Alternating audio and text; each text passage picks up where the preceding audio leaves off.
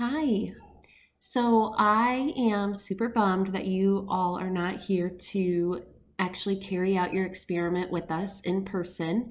Um, but I am super excited to see what you all come up with. Um, you still are going to carry out your experiment. It just might not be the exact one you planned um, or with the person that you planned. Um, and that's okay. All right. So before you begin this process, I just want you to think about um, a couple things. Number one, if you are watching this video, you are going to be doing your experiment on your own. So that means that even if you did have a partner originally, you're going to scrap that. Um, you can maybe still do the same experiment if it's possible, but you will not have them to help you because you'll have to just kind of get this done on your own time. That's number one.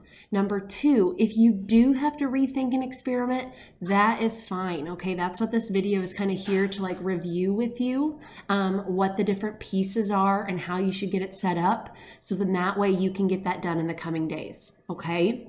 So this video here, I want to go over the first three steps. So if you remember, we needed to define a question or a problem. You can kind of see where my cursor is.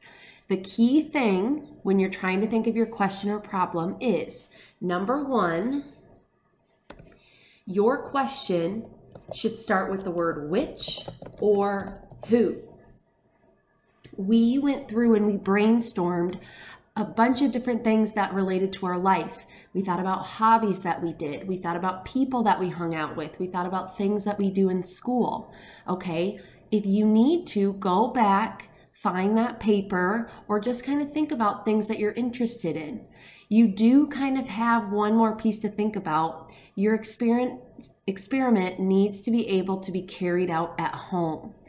Do not go out and buy a bunch of things. Find things you have around your house. Use your pets, use the cleaning supplies you might have, use the video games you might have loaded in your PlayStation. Whatever it is, I'm sure it will be great, okay? So, step number one, defining the question. Your question should start with the words which or who. That's going to make sure that we are testing two different groups of either people or things. So, here's an example that I have given you in the past. I might ask the question, which brand of laundry detergent is most effective at cleaning grass stains?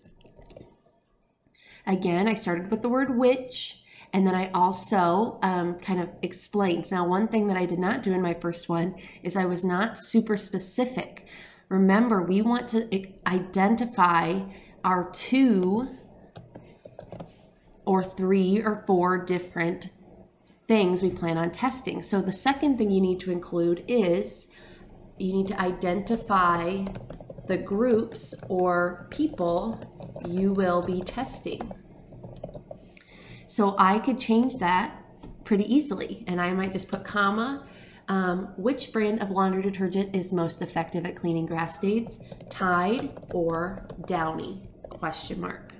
Takes care of that. Okay. Step two is where you form your hypothesis.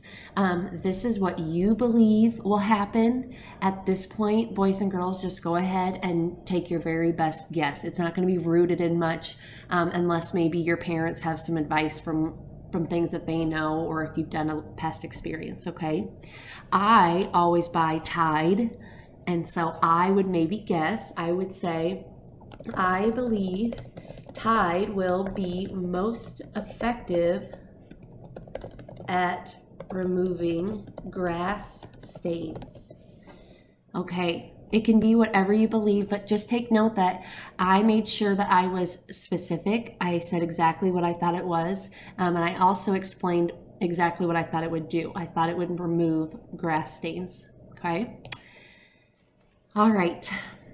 And step number three, and this might be the part that most of you struggle with, especially if you're redoing that, okay? But this is just good review. So, step number three has you identifying your all kinds of variables, your control variables, your independent variables, and your dependent variables. So what I'm going to do is I'm actually going to start on this middle one here because sometimes that might help kind of get things organized. Remember, your independent variable is the thing you change on purpose. You set up your question up here and you use the word which or who, and you identified your two or three different groups that you plan on testing. In mine, I am purposely changing the type of detergent or the brand, Tide versus Downy. So I would just simply put for my independent variable is the type of detergent. Okay. And then you could even be more specific if you wanted to, and you could say Tide or down, Downy. Okay. The dependent variable is the thing I measure. It's how I know which one was the winner or which one was the best um, but it's basically how I know the answer to that question. So, in my brain, I might think of effective at cleaning grass stains. How would I measure that? How would I get a number? Um, I might do the number of washes before the stain is completely gone, right? So maybe I wash once, twice, and on the third time, maybe the stain or stains are gone, okay? So in my example, my dependent variable is the number of washes. That's how I know what's the winner, which detergent is the winner, okay? Finally, controlled variables are all the things that you keep the same to make sure it's a fair experiment. Remember back to our chubby bunny activity. What things had to be the same for the boys versus the girls to make sure that one side doesn't have an advantage. So I'm just thinking, um, mine, I would want to make sure that I wash them in the same temperature of water.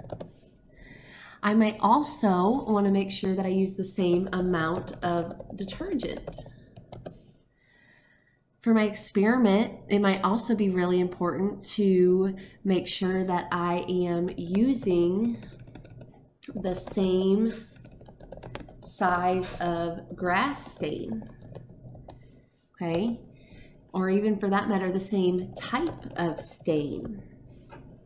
So you can see I have one, two, three, four um, control variables. And if you have four or five of these variables, again, the things that you keep the same between your two or three groups, you should be pretty good. If you have any questions about any part of this video, the great thing is, is that you can always pause it, rewind it, re-listen to it. So make sure that you go back again and again, watch and rewatch this video to help you with steps number one, two, and three.